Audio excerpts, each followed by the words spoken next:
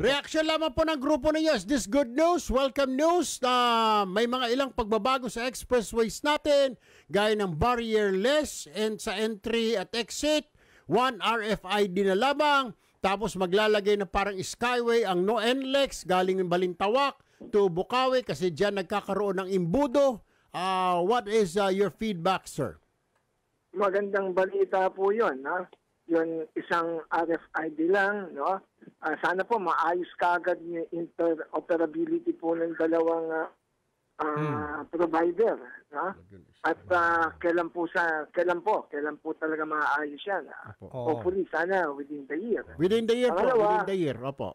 Apo, yung pong barrierless, tama po yun dahil ah, ah, kaya nga po nagka-cashless Hmm. para medyo mab- mas mabilis yung Mm. ah, pasok at labas Opo. sa toll. Mhm. Eh, minsan po talaga pong natatagalan po doon because of the barrier. Mm. Ah, pangatlo, eh, yung pong, ah, yung nga po, yung pong mga additional ah, ah, ah, additional roads, Mm. no, toll, ah, tollways, na uh, makakatulong talagang mabuti para Mm. sa ating pong mga kababayan. Mm. Ang ating lamang po sanang ah, ah, apila eh, yung bayad sa toll. Mm. Ito po.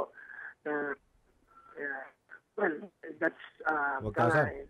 yung TRB na po ang ah, major restriction nun. Oo. May, ah, laki naman siguro nakita nitong mga to. Oo, why not? Eh, O, eh, yun, yun po ang isa oh, pong 40,000 na nakikita din po sa namin. akin. Oo, laki ng kita. So, dapat lang. Opo, Mm. ah, yun, yun pong Alright. Magkano yung Opo. ah, ibinabayad